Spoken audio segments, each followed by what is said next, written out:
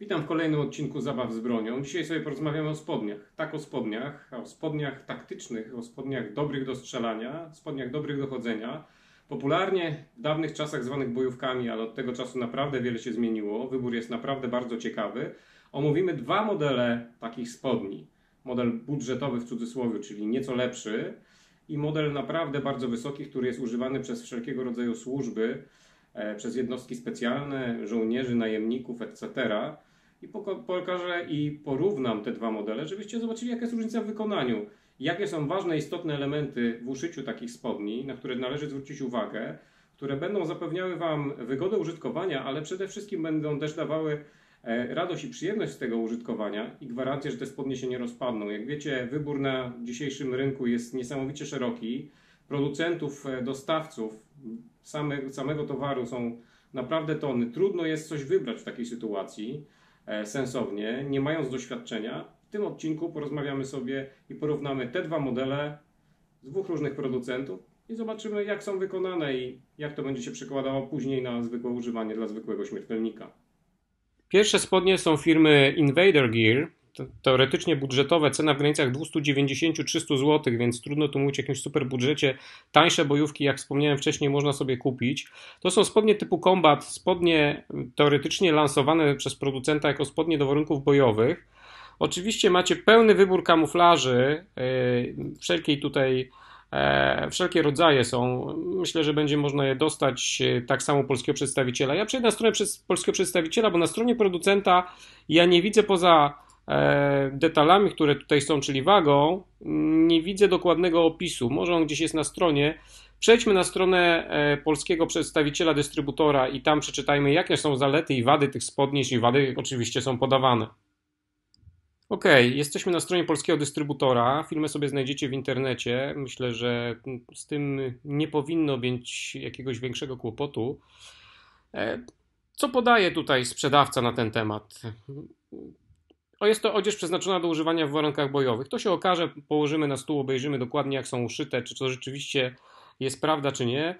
E, Dalej przeczytajmy opis. Posiadają one wytrzymałe i komfortowe nakolanniki. W razie potrzeby można je wyjąć, czyli to już jest zaleta, że nakolanniki się demontują. Wewnętrzna część, oczywiście piankowa, bo zewnętrzna, która chroni przed przedarciem kolano, jest e, niezdejmowana, jest przyszyta na stałe. Spodnie posiadają szeroki, miękko wyściełany pas i to jest bardzo dobra informacja dla nas, dlatego że ten pas, jak tutaj e, sprzedawca reklamuje i tak jest w praktyce, pozwala na to, że nie będziemy obcierani przez pas bojowy, na którym mamy powieszoną na przykład kaburę wojskowy, e, czy pas taktyczny, jak, jak to chce tak nazywa, czy pas strzelecki w przypadku strzelców. E, nie będzie nas ten pas po prostu, mówiąc kolokwialnie, uwierał w ciało. E, oczywiście mm, tutaj jest jeszcze podana informacja, że regulacja szerokości występuje aż w dwóch miejscach, na nogawce i pod kolanem. E, zamki IKK i rzep oczywiście, 10 kieszeni, mm, po, każ- po jednej na każdej z nogawek, mała kieszeń na przodzie uda, e, kieszenie cargo, ta, takie rzeczy tutaj wiadomo, jak to w bojówkach standardowe. E, No i teraz e, materiał, to jest ripstop, 65% bawełna, 35% polister, kolor multicamo, mamy tutaj rozmiarówkę, e, są w długościach standardowej albo w long. Ok, tyle na temat w cudzysłowie budżetowych spodni. E, Przejdźmy teraz do droższego modelu, porozmawiamy sobie o droższym modelu i zobaczymy jaka jest cena, a później te spodnie jedne i drugie po prostu obejrzymy dokładnie jak są uszyte, jak są wykonane i spróbujemy w pewnym sensie porównać. Jeśli nie porównać, to zobaczyć jakie są uchybienia, jakie są zalety, jaka jest jakość wykonania po prostu obu producentów. Jak wspomniałem, to są dwie różne zupełnie półki finansowe.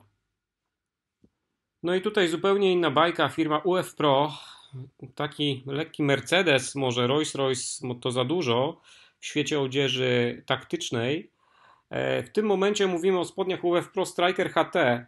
One się różnią e, i są różne wersje tych spodni. Pomijam kolorystykę, bo to jest rzecz, która jest e, tutaj ogólnie dostępna, więc możemy naprawdę sobie zmieniać e, na dowolną. E, Natomiast chodzi o to, że e, te spodnie są bardzo zaawansowanym już modelem. Poza jakąś wentylacją i licznymi kieszeniami są uszyte naprawdę z bardzo wysokiej jakości materiałów i konstrukcja jest bardzo mocno przemyślana. Te spodnie rzeczywiście stosują służby i po prostu używają w trakcie swojej pracy, po prostu. Ja pokażę te spodnie bezpośrednio, ale jeszcze przejdźmy na stronę polskiego dystrybutora, też go nie pokażę, ale zobaczmy jaka jest cena takich spodni e, po prostu w Polsce. No i jesteśmy na stronie polskiego przedstawiciela. Jak widzimy, cena jest bolesna 750 zł za takie spodnie. Um, oczywiście one w zależności od kamuflażu, rodzaju, um, ta cena będzie się wahała od 600-500 do 800 zł. Oczywiście można kupić i droższe spodnie za 2000 czy za 3, to też nie jest żaden problem, to zależy od y, przedstawiciela. Ja uważam, że to jest górna półka już cenowa, która naprawdę, jeśli chodzi o jakość wykonania, dorównuje tym produktom zdecydowanie droższym. E, dobrze, przejdźmy może do porównania, połóżmy obok siebie obie konstrukcje. Zobaczmy tutaj też, co, co um, mówi może sprzedawca, który jest przedstawicielem producenta, e, że spodnie oczywiście system, mają system cyrkulacji powietrza, po prostu mają suwaki wszyte w okolicy krocza i można sobie je spokojnie um, otwierać Trzywarstwowy system ochrony kolan to jest bardzo ciekawe, że w tych spodniach możemy trzy różne stosować, jakby w zasadzie dwa różne rodzaje ochraniaczy, albo nawet trzy, bo się różnią grubością. Dwa rodzaje różnią się grubością, jedne różnią się wielkością, a dodatkowo już permanentnie jest wszyty ochraniacz e, w kolano.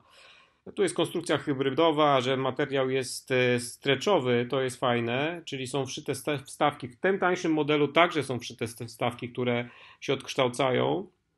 Jest tutaj kordura polistrowo-bawełniana tkanina. No, dość zaawansowana konstrukcja, jeśli chodzi o, o, różne możliwości. Jest, dodatkowo są opisane kieszenie boczne, e, kieszenie na wyposażenie usztywnioną plastikiem, są małe kieszonki wszyte. E, można sobie dokupić podpinkę w stylu windstopper. Także tak naprawdę zobaczcie, opis jest niesamowicie e, szeroki. E, naprawdę są nawet szlówki do szelek, ja to wszystko pokażę. Tutaj mamy materiał e, polister, bawełna, ripstop, e, Scholler Dynamic, Polamid, Elastan. Oczywiście rozmiary są takie, że dla każdego rozmiaru w pasie mamy jakby e, podane mm, różne długości. Zobaczcie, mamy rozmiar 33, mamy w tym momencie długość nogawki 30, 32, 34, 36. Także naprawdę można bardzo precyzyjnie do tych spodni dobrać sobie długość. To jest super, uważam. E, zobaczmy, że przejdźmy już po prostu do tego porównania, żeby nie przedłużać bez sensu. Przed nami spodnie Predator. Jak widzimy, ochraniacze są z dość grubego materiału, około 5 mm. Pod spodem jest gąbka, w tym zakresie jest dokładnie wszyta gąbka. Oczywiście szwy nie są jakieś specjalne, ale mamy także wstawki z rozciągalnego materiału, które powodują, że w miejscu kolan ten materiał pracuje. Ciekawostką jest też to, że mamy na dole takie zapięcie, które pozwala te spodnie w miejscu ochraniacza ściągnąć. To jest bardzo fajne rozwiązanie. Tego nie ma w modelu droższym. Mamy oczywiście kieszonki przy nogawkach. Mamy zapięcie nogawek, że możemy spokojnie tą nogawkę zwęzić. Mamy kieszenie e, cargo boczne duże, zapinane na rzepy nie mają żadnych odpływów. To wszystko jest tak dość siermierznie uszyte. To nie robi jakiegoś e, niesamowitego wrażenia, jeśli się na to patrzy z bliska. Tak samo zapięcie. Zobaczcie, spodnie są zapinane tylko na rzep. Jest dobry suwak i KK, ale no niestety to jest troszkę mało moim zdaniem. Ja rozumiem, że wszystko trzyma pas. Szlówki są nieodpinane. To co powiedziałem, tutaj ten pas jest wytapicerowany gąbką. Jest materiał z tyłu rozciągliwych, też w tylnej części. Tylne kieszenie, przednie nie mają jakichś organizerów. W zasadzie te spodnie wyglądają jak wzmocnione bojówki. Nieco lepiej uszyte bojówki, nieco lepiej przygotowane, ale materiał nie wzbudza aż takiego niesamowitego wrażenia i nie robi, nie daje powodów do jakiegoś totalnego zaufania. Myślę, że na początek takie spodnie będą dobre, bo będą jakimś warunkiem budżetowym. E, oczywiście widzicie, te wstawki przy kolanach E, są tutaj dość poważnie wszyte. Ja tego nie pokazałem do końca. Może przełożę do tyłu jeszcze. Natomiast jest to wy wybór budżetowy. Macie pełną rozmiarówkę, oczywiście można się zastanawiać nad tymi spodniami. Może przejdźmy od razu do wariantu takiego naprawdę droższego. I jeszcze ciekawostką, zanim powiem o wariancie droższym, zobaczcie tutaj są przy szlówkach takie oprzycia, że można sobie jeszcze doczepić jakiś osprzęt do tego dodatkowo. E, te sztuki się nie odpinają. Jest to wszystko poprawne, dobrze zrobione. Natomiast może bez jakiejś przesadnej jakości dbalstwa o szczegóły i projektowania, no ale jak wiemy na rynku cena dyktuje pewne warunki i musimy się podporządkować. Oczywiście można było jeszcze godzinami rozmawiać o kieszonkach na przykład, na nogawkach, ale widzimy co jest. Myślę, że tu będzie też problem z takich ciekawostek, które zawsze w bojówkach mnie przerastały. Mianowicie często bojówki w miejscu, gdzie jest krocze, o, już widzimy, po prostu się rozrywają. Po pewnym czasie się robi piękna dziura. Przejdźmy do drugiego modelu może, żeby nie przedłużać. Jeszcze kolejna ciekawostka. Ochraniacze miały być wyjmowane. Ja przewinąłem na lewą stronę, bo od przodu tych ochraniaczy się nie da wyjąć. Ja tu nie widzę miejsca, przez które ja mógłbym te ochraniacze w tym momencie wyjąć z tych spodni. Chyba, że się mylę, ale nie jestem w błędzie. To jest zaszyte po prostu na stałe w tej chwili. Chyba, że tu jest nie, no nie ma żadnej kieszeni. Nie widzę żadnej kieszeni, przez którą mógłbym te ochraniacze po prostu wyjąć. Nie wiem, poszukam jeszcze, ale no nie, nie ma żadnych rzepów, nie ma żadnego zapięcia. Trzeba byłoby to po prostu rozpróć. Z przodu, jak widzicie, też nie ma żadnej kieszeni. To jest wszystko na gotowo, po prostu obszyte. Nie wiem, chyba, że tutaj pod tym ochraniaczem jest rzep. Spokojnie, może rzeczywiście da się odpiąć. Jest miejsce. Już coś widzę. Jest miejsce na wyjęcie ochraniacza. Proszę, czyli moja wina. Przepraszam. Da się wyjąć rzeczywiście. Czyli te nie są przyszyte, czyli te są... Zaraz popracuję na tym, zobaczymy jakie są możliwości. No i muszę przeprosić, jak się okazuje nie miałem racji. Tak wygląda ochraniacz. On jest z boku przyczepiony tu na rzepy, włożony w otwór po prostu i te rzepy trzymają przy samej krawędzi tych spodni, tak jak widzicie tutaj w tym obszyciu. Czyli spokojnie te ochraniacze są wymienne. Można spokojnie sobie są wyprofilowane pod kolano. Czyli nie jest tak źle, jakby mogło wyglądać. Oczywiście to nie jest jakiś szok. Ja pokażę od droższego modelu ochraniacza, to już jest zupełnie inna liga.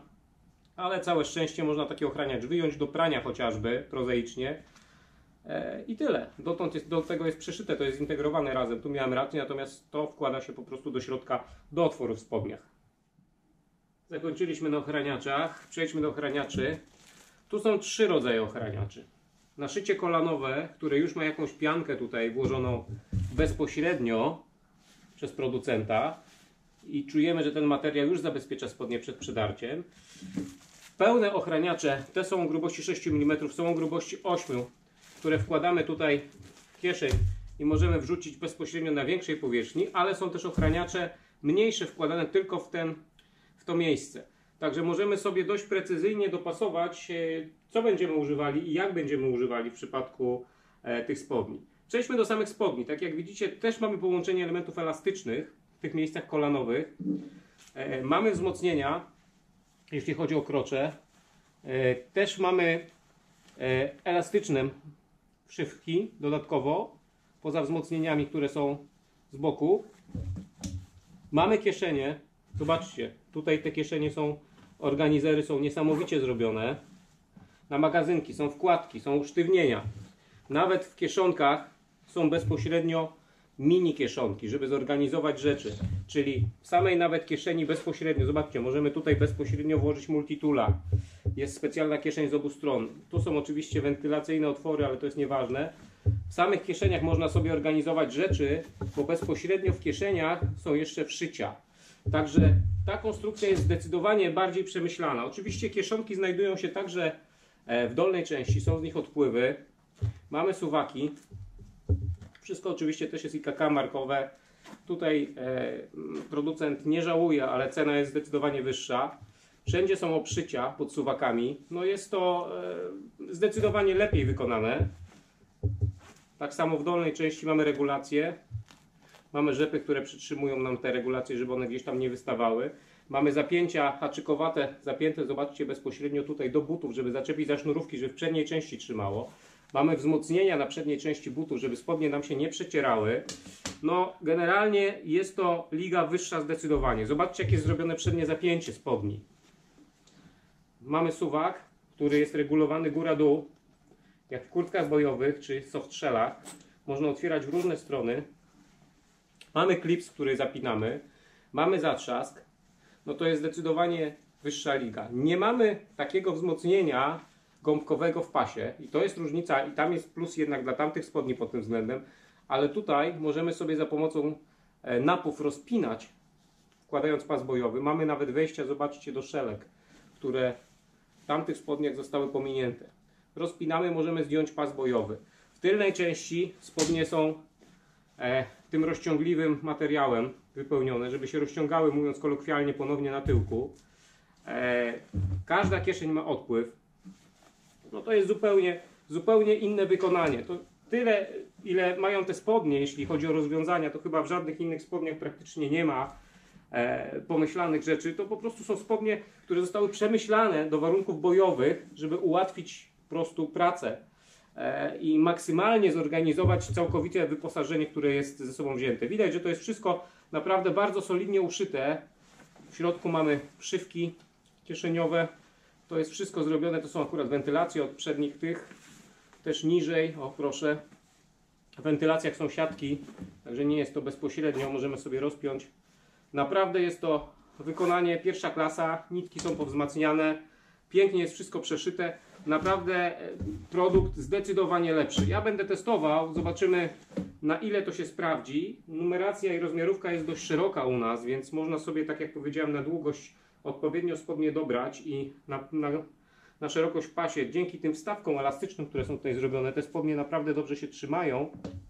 Zobaczymy, jak się będą sprawowały jakościowo przy strzelaniu taktycznym, czy rzeczywiście są tak dobrze wykonane i czy rzeczywiście czas to zweryfikuje, no, czy rzeczywiście się to sprawdzi po prostu w terenie. To jest e, zawsze jakiś minus, potrafią się spodnie nie- nieoczekiwanie gdzieś tam przedrzeć czy rozerwać albo wypracować, no i takie rzeczy jakby świadczą o produkcie.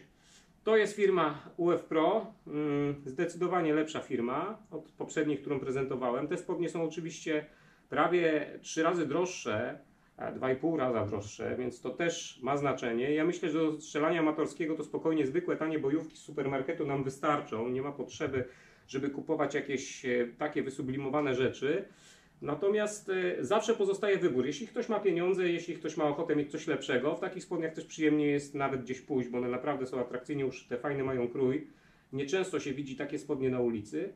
Więc myślę, że warto się nad tym zastanowić, przekalkulować swój domowy budżet i przemyśleć, czy nas na to stać, czy nie. No bo jak w życiu e, czasami trzeba po prostu odpowiednie rzeczy dobierać w odpowiedni, rozsądny sposób. Zapraszam do subskrypcji, piszcie pod tym filmem. Może znacie jakieś inne spodnie, jakieś inne rozwiązania. Ja myślę, że w tym temacie będzie wielu mądrzejszych ode mnie. Natomiast jest to program dla świeżaków, e, dla ludzi, którzy fascynują się strzelectwem. I taki ma być ten program. Ja myślę, że z chęcią wysłuchamy porad osób, które mają duże doświadczenie i powiedzą, jakie spodnie wybrać, może są jakieś inne modele, jaki sprzęt wybrać. I czytając dodatkowo, poza oglądaniem tych filmów, e, opisy pod tym filmem, e, będziecie mogli się, ja będę mógł się czegoś nauczyć.